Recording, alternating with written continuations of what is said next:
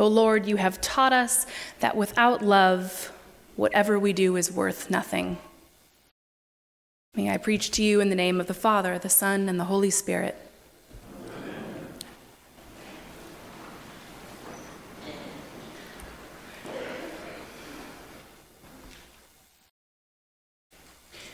We've spent the past few weeks working on one of the most well worn parts of our Holy Scripture, and that is Matthew's Sermon on the Mount. As you listen to this gospel, these pieces are Sunday school snippets. They are so familiar to most of us, they're embedded in our memories. And for me, it can be hard to even pay attention. Yeah, yeah, I already know this. I skim it. And not only are they rote, but they're hard. They're unrealistic. They're these heavy theological rocks that Jesus is handing us wrapped in this pretty flowery tissue paper. But they're heavy, they're hard. Hold your enemies in love. Pray for those who hate you, who wish you harm. Love those who do evil. This sermon, like so many that we hear from Jesus, goes against the most fundamental fibers of our humanity. It requires the impossible. And so this morning's gospel becomes a litany of things that Jesus somehow expects us to be able to do. Be perfect, he says. And not just any old perfect, be perfect like God is perfect. Take a moment and check in with yourself after hearing that. Be perfect like God is perfect. What does it feel like to be given these difficult, if not impossible, instructions? To be told to seek perfection? Did any of you really need to hear that from anyone else? That's the kind of thing we tell ourselves all the time. It's the kind of thing we hear repeated in a million different ways in our culture, in our lives. Be perfect. I'd venture a guess that every single person sitting here this morning has had some sort of brush with perfectionism. We live in a culture, especially here in Westport and Fairfield County, that values perfection. You can't even get to church on Sunday morning without driving past the Soul Cycle, the Tiffany's, or my most coveted Williams Sonoma. so for us, perfection is something that's attainable, it's in front of us. If we work, work hard, we put in the hours, it's within our grasp. The perfect body, the perfect outfits, the perfect kitchen. And so we hold ourselves to these incredibly high standards. And this can be such a beautiful thing. It can yield incredible results, as we see. Look around you. There's so much to be gained from our desire for perfection, for ourselves, for our community, for our world. And this community here at Christ and Holy Trinity is bursting at the seams with people living full, beautiful, productive lives. We are a group of creators, organizers. We work hard. We're raising brilliant and insightful children.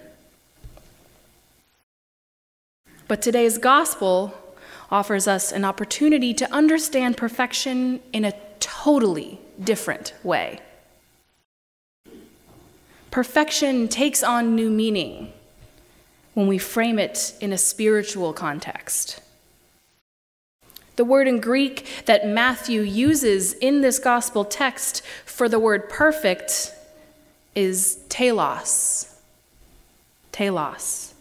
And telos in Greek is not about some sort of moral or physical perfection. It has nothing to do with your grades or your performance reviews or your abs. Perfection as telos is about reaching an intended goal. It is the pinnacle of one's existence. The telos of an arrow is the bullseye of a red and white striped target. The telos of a lumpy, hard brown amaryllis bulb is a tall, elegant, blood red bloom. And the telos of a Christian is love. So, telos or perfection refers to the process of becoming the most fulfilled version of ourselves. Perfection is a movement, it's a posture, it's a way of being in the world. Perfection is about being oriented towards God's will. It's using your gifts to move closer into God. And we show up here on Sunday mornings to seek out new ways to participate in that process of fulfillment, the process of becoming the people that God created us to be, becoming the community that God intends for us to be together. And Jesus gives us these magnificent instructions on perfection. Don't hit back. Give freely of your gifts. Be generous with your heart, your time, your resources. Be moved by love. And the problem here is that being moved by love doesn't always look good. Perfection in God doesn't look like the kind of perfection that we expect. It's rarely shiny and beautiful. It doesn't have nice abs. Most often it's messy or just downright ugly. And think about it. For us as Christians, the pinnacle of perfection in God, the most profound love that we experience, is embodied in the cruel and unjust execution of our Lord. It is our brother crucified. This is not the kind of perfection that we're used to. Now, I know the places where I've felt closest to this kind of perfection has been in the messiness of mission. Somehow, for me, I feel myself move in close to my telos through my awkward and bumbling attempts at being Christ's hands and feet out in the world. Yes, it has its moments of intense beauty, but it's complicated. I do it badly a lot of the time. But mission work, service to one another, love of neighbor is messy. Last summer, 16 of us loaded into shiny minivans and drove down to the Ninth Ward, one of the poorest neighborhoods in New Orleans. And this is a place that has never recovered from Hurricane Katrina. There are only a few houses and lots of abandoned, overgrown lots. There are almost no trees, which is stifling in the middle of a Louisiana summer.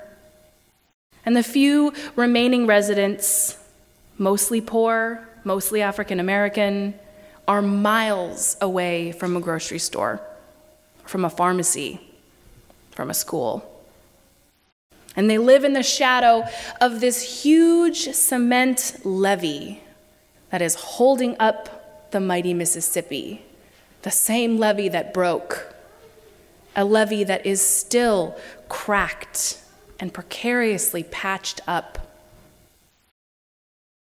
So we had arranged to spend the day working at a local nonprofit in this neighborhood. It was called Our School at Blair Grocery. It was an urban farm and an educational center for the youth of the neighborhood. In the midst of this no man's land, it was this urban oasis where youth could go and learn about farming and planting and eating right and healthy food. It was incredible. And so, Kate Nelson, our youth director here, she and I spent months getting this trip planned, working on this specific project. We just wanted to get every single detail perfect. So I had these visions of us planting kale with neighborhood kids. We'd be carrying fresh buckets of Louisiana strawberries out into the neighborhoods, feeding people, making friends. We were going to plant things and get our hands dirty and build greenhouses and recycle and sing and hold hands. It was going to be perfect. And that morning, we pulled up in our air conditioned vans to what appeared to be an abandoned schoolhouse. I checked my GPS like three times, making sure we were in the right place. And there we stood and sat there in front of this old, crumbling house, wrapped up in creeper vines. And my stomach twisted into knots as I saw a skinny, dirty, scraggly looking man in a ripped t shirt, cigarette hanging out of his mouth at seven in the morning, saunter up to the other van. So I got my mission leader, mama bear posture out, and I got out of the minivan, ready to confront this guy. Mm-mm. And surprise, this was the man that I had been emailing for months. This was the CEO of the nonprofit. And as I sort of adjusted to this new information, these three young men, boys, also dirty, half asleep, wearing ripped tank tops and work boots, stumbled down the stairs of the broken down house. It was the COO and the CFO. So, this is your mission trip leader's big uh oh moment. I was really nervous. But we stuck with it for the day. You never know how things are going to go. We'd made our arrangements, we were already there. Let's jump in, see how things go. So, we spent the day with these men. We weeded their okra plants, we herded their raggedy flock of goats around the block. There were no children to play with. But we dug mulch and we listened. And through the course of the day, these three men, these boys, shared with us their experience. These were young, troubled men, one who was a teacher who dropped out of his PhD program and found themselves living in the boonies in New Orleans, trying to create something beautiful together. They had been through every kind of hardship you could imagine. They were competing with other nonprofits. They'd been shut down by local authorities. They had been trying so hard to raise money unsuccessfully. They were fighting with the notoriously corrupt Louisiana government. It was a mess. No wonder they were so scraggly. But their intense love and passion for the work they were doing in this neighborhood was like nothing I have ever seen. Yes, they were smelly, they were sunburned, and they cussed and chain smoked in front of my kids. Was not ideal. But we came to realize that these were people living into their perfection in God. This small plot of land was the telos, the telos of these young men. And their dedication filled me with such admiration and such love. I wanted to drop everything and join up with them. I think the best paraphrase of what Jesus commands us to do this morning comes from St. Catherine of Siena. She says, Be who God created you to be, and you will set the world on fire. We are constantly being called into the messiness of loving one another. We do this as a congregation, we do this in our families, we do this in our own hearts, and we know how complicated, how messy, how gross that kind of love can be. But perfection is the journey, it is a becoming. So move into your telos. Be moved by your deep love and set the world on fire. Amen.